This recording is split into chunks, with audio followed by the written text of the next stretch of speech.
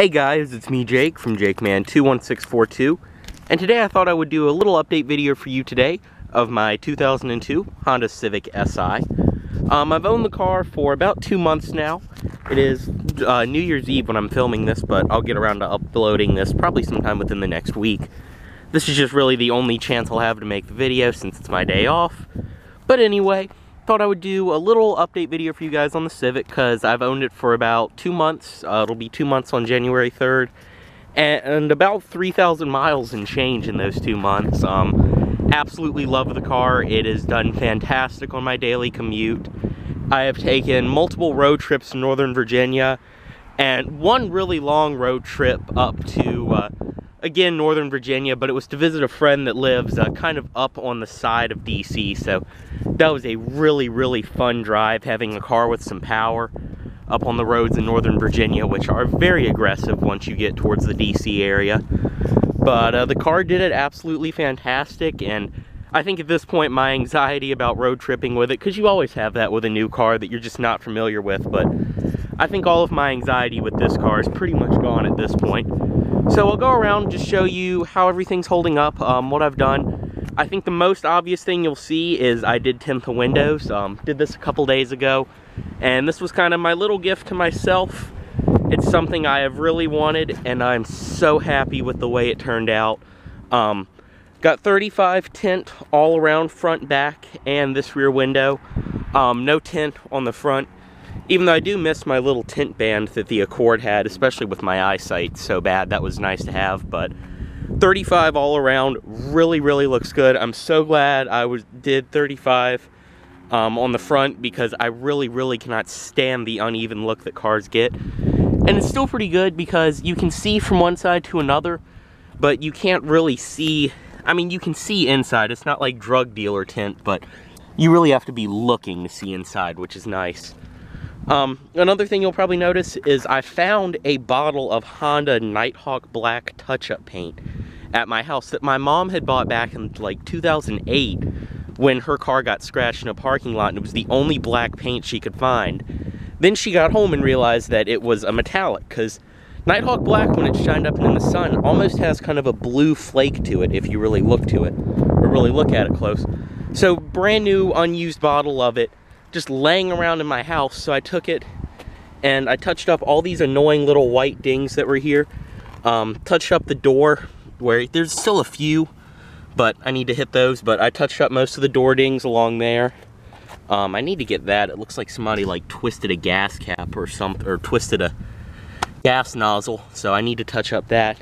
But coming along the back too, all those annoying ass scrapes that were on the bumper, like you can still see them if you look for them but they are all gone, thank God. Those bothered me so much. And the car, the way it was parked in my last update video, the sun was right on them and they looked a lot worse. But all of that is good. Right here where the clear coat had peeled above the Honda badge, covered that up. And then up here too where the clear coat had also faded, um, up along the spoiler. Still plasti dipped, I really need to touch it up um, around the edges. I'll probably, it literally has one coat because it was the first time I'd ever used plasti dip and I was kind of hesitant. I just really wanted to see what it did. But uh, it's kind of peeled around here and then on the edges from car washes, especially this side. So I need to touch that up, but I really like the way that looks. And I think it gives it a nice amount of contrast too. I wish Honda had actually done something like that from the factory. But uh, coming around to this side, there were a few dings over here that I touched up. There's still like two or three down there. And then coming along the front, uh, still same tires as always, the Goodyear Eagle RSAs. Um, wearing pretty nicely actually. Like they still have a really good amount of meat on them and these have been fantastic tires. Uh, especially in the rain and stuff, they're really good. Coming along the front, um, all the rock chips and stuff are still in the bumper. Like I've said before, nothing I'm really gonna do about that because when you start actually like, re unless paint actually starts like ripping off of it, or clear coat, which isn't gonna happen, I'm leaving it because when you touch things up on cars like this, it never looks good and it never looks the same again. Um, headlights, I did buff them, so they are nice and shiny. But we'll go ahead, step inside, and I'll give you a mileage check. Um, I did just wash, detail, vacuum, all that inside of it. I had to shampoo the carpet over here because one of my friends got a little turnt and spilled his Cheerwine, so I had to clean that. But otherwise, the interior is in absolutely perfect shape. It's exactly how it pretty much has been.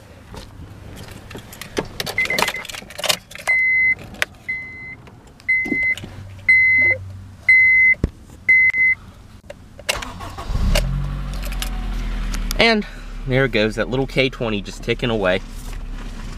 But coming along inside, as you can see, another thing I really like about the 35 tint is you can still see no problem.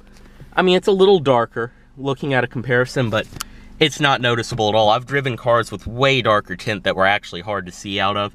And even at night, this is perfectly fine. But inside, everything is pretty much the same. I got this uh, right after my last update video. I had some store credit that I needed to burn at Best Buy, so I picked this up. Um, ran the wire down here, up underneath the dash. There's a little hole way back there. Ran it through, and it's plugged into the splitter down here. But uh, I'd leave it up because it finds food and uh, cheap gas, so... And I just like the way it looks up there. And then the next biggest update is this. Yes, that horrendous factory head unit is finally gone. Um, Took it to the same shop I had uh, do the Beetle, because I put the radio on the Saturn and the Accord. Uh, just an afternoon, a little bit of help from a friend. I mean, you can easily do it yourself, but all of this is like 10 million clips and screws and wires, and there's like different harnesses for this, different harnesses for the radio. I was just like, I went to the shop, they were like, yeah, it'll be 112 bucks. So I was like, I'll do it. Because I already had the radio, and then I think this was like another 20 bucks for this. I kind of wish it was silver to match, but I really don't care. Because the interior is black, so it actually contrasts pretty well, but um, at night, it lights up red, matches everything, just like this does, so it's perfect. I really like it. It has an excellent sound. I have my Bluetooth, which they mounted up here. Bluetooth works perfectly in here. Bluetooth streaming audio works perfectly. Like, I love this radio and then satellite radio, and then up front I still have the two stock tweeters, two OEM speakers, and then in the back, which the box is back there, I'll show it, I put in uh, two kickers, two kicker speakers, and that made all the difference. Like this car absolutely bumps now that it has a head unit pushing some power. Um, down here, shift knob, all that still the same. This is kind of dirty. I guess I missed it at the car wash, but still absolutely love this gearbox. I'm so glad to be back in a car with a manual. Uh, no complaints here. I love it. I absolutely love it. Um, it does that typical Honda thing too in reverse. That typical. Um, down here, I do have the business card for where I got my tint. Um, anyone in the Richmond area, if you need tint, go to Advanced Window Tint. Uh, on Broad Street, same building as RPM. Excellent job. I will highly recommend them to anyone. It was not cheap. They are definitely more expensive than their competitors, but the work shows. They did such an excellent job doing that. Um, down here, I do have a little plug for the power adapter, which I kind of just keep that covered on it so the light won't shine up at night. Um, storage in the middle, this is like full of papers and crap for work. And then cover. Right here, I do have more storage. This is where I'll usually like leave my phone or something if I have drinks. Up here, do have the armrest, which was added aftermarket uh, before I bought the car, but does tilt. You can raise and lower it. And then down there, just some detailing cloths and stuff. So we'll go ahead, put the window down. I can finally put my windows down and it won't hurt the tint. Go ahead and pop the hood. Show you the rest of the car. Coming along to the trunk, I did a little bit of organizing this morning. Oh, it actually didn't like get thrown around other than fucking candy wrappers. I don't even know where that came from. But back here, I did get this crate last night. I stole this from a Waffle House because I was like, oh, it'll be a good record crate. It's like that small enough that records won't fit in it. So now it's my junk crate, which is fine with me because it's deeper, so all the stuff won't fall out of it. But it's all detailing stuff, oil just in case. Um, think this is a can of, yep, that's Plasti Dip for all your ricer needs. And then right here, I do have the battery jump box, which I've never had to use, but I keep that just in case someone else needs it. Um, there's another candy wrapper. Right here, I do have shoes, same ones that have been in every car. My uh, pink dildo duster thing, and a jacket, which I just keep in here. This came with my GPS for free. It's one of those little bed things that they clamp down onto and they sit on the dash, but the way my dash is angled, this really didn't fit and it really bothered me, so I like the GPS over in that corner more. And I just, I love the way Nighthawk Black shines on this car. I also did fail to mention in uh, some of my older videos, if you've seen Matt's video, um, this was all cracked and peeling. I did plasti dip this on both sides and it's held up fantastic. But I did that. I've thought about plasti dipping this, especially on the driver's side, because this is really, really a fingerprint magnet. You can see this one's actually a little scuffed up. I mean, just from old car use, but I've thought about dipping it. I don't know if that would be ricey or not, but just since it's such a fingerprint magnet, I think that would look kind of good. But we'll step in on the other side. Everything is pretty much the same. As I mentioned, I just shampooed the carpet, but came out fine. And in the back, there are cupcakes, which I bought the other night and never ate. Um, back here, this is the box for the speakers.